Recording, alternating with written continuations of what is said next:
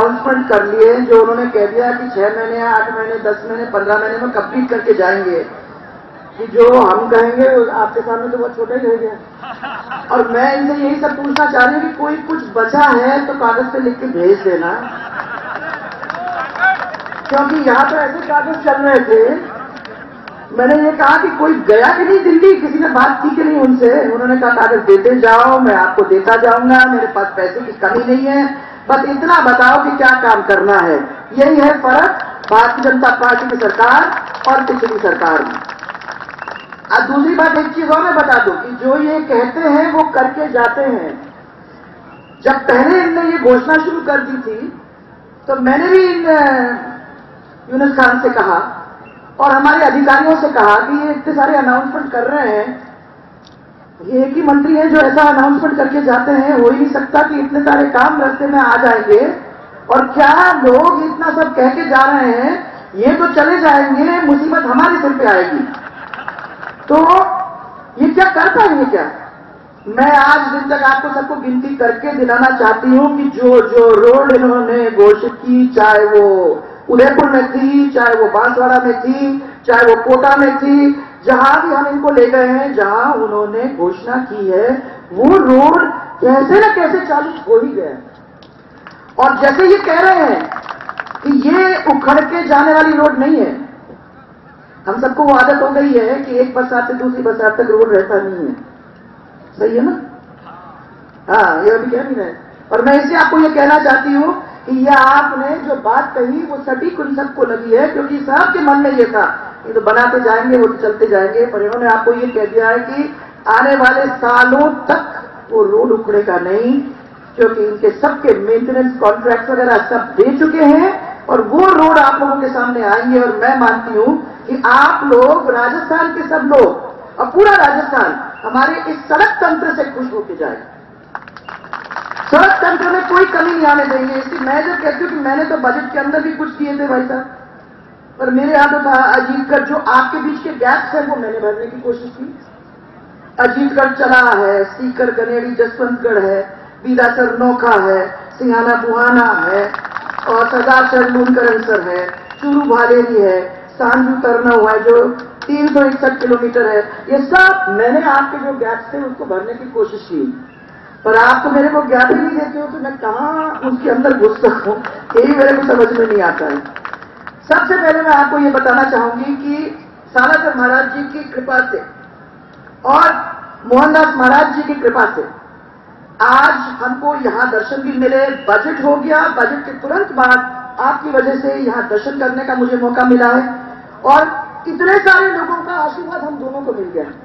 ये कोई कम बात नहीं है। और मैं आप लोग सबको ये कहना चाहती हूँ कि जो हमारे को तंत्र मिला था, वो ऐसा लड़खड़ाया हुआ, चरमराया हुआ तंत्र मिला था कि इस बार हम यही सोच रहे थे कि बजट बनाएँगे तो किस तरीके से बनाएँगे, पैसा लाएँगे तो कहाँ से लाएँगे, परंतु जैसे उन्होंने कहा, भगवान और ईश्वर के ऊपर अगर भरोसा करते हो तो पैसे की कमी नहीं आती है और जो हम लोगों ने ज़मीन पे लाने की बात सोची है, उसको ज़मीन के ऊपर ला के छोड़ेंगे। और इसलिए मैं आपको ये कह सकती हूँ कि जब सब लोगों ने दो महीने सबसे बात करने के बाद सब लोगों ने कहना शुरू कर दिया कि बिजली का भार हम लोग नहीं ले सकते। तो मैंने इनको कहा कि एक बार जब तक हमारे लोग खड़े नहीं हो जाते, तब तक इसका भार सरकार वहन करेगी और जनता को उससे छुटकारा देने की कोशिश करेगी। चाहे हमको साठ करोड़, हज़ार करोड़ रुपया क्यों ना सरकार के कंधे के ऊपर लेना पड़े। आपको सबको मालूम है कि अस्सी हज़ार करोड़ का कर्जा छोड़ के जो गई थी, उसमें आज सात हज़ार और दस हज़ार अलग से हम लोग सरकार ने कंपनी से लेके अपने कंधे पर ले लिया ताकि आप लोगों के ऊपर ज़्यादा उन्हें मुसीबत ना आए।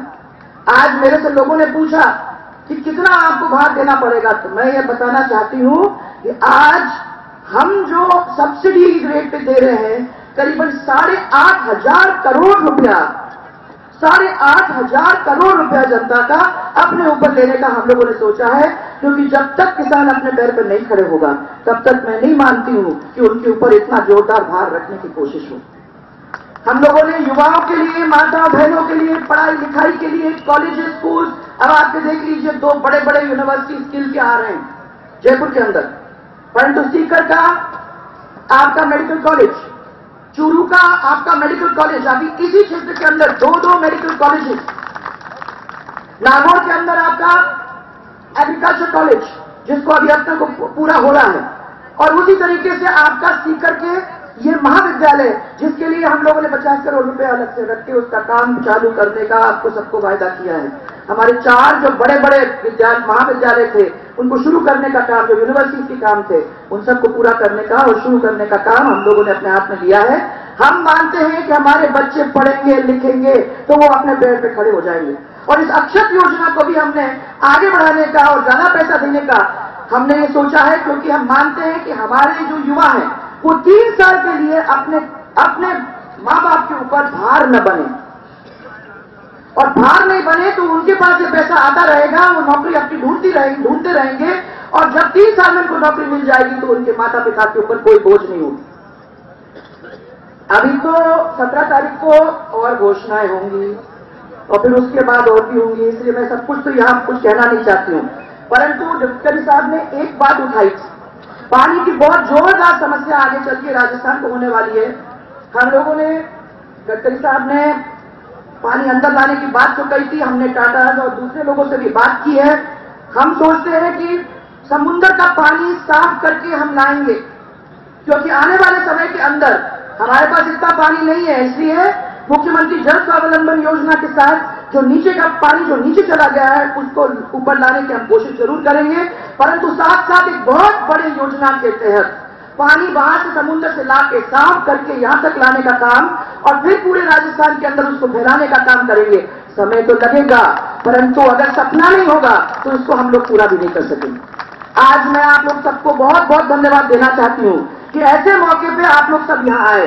इन्होंने मेरे को यही कहा, कुछ बचता है तो बता देना। मैंने उनको यही कहा है कि ढूंढ रही हूँ। अगर कुछ बचता है तो आप भी हमें बता देना। कुछ ऐसी बात है तो हम इन तक ज़रूर पहुँचा देंगे। और क्योंकि ये कभी किसी को ना ही नहीं करते हैं, वो हम लोगों को भी नहीं करेंगे। इसलिए आज सब यहाँ आए बजट का काम हो गया, आशीर्वाद हम लोगों को मिल गया। आप लोगों ने भी प्यार अपना दिया। हमारे लिए मैंने तो यही कहा कि 36 के 36 कौम अपने हैं, अपने परिवार के हैं। और इस परिवार को मज़बूत रखने का एक बहुत बड़ा संकल्प इस पार्टी ने लिया है। आने वाले समय के अंदर आप लोगों को आगे बढ़ाने का काम हम मिलकर करेंगे। और तब तक आप लोग सबको मेरा बहुत सारा प्यार, बहुत सारा धन्यवाद कि आप लोग आज के दिन हम सबके बीच में, हम सबके साथ यहाँ मिलने आए। बहुत बहुत सबको धन्यवाद।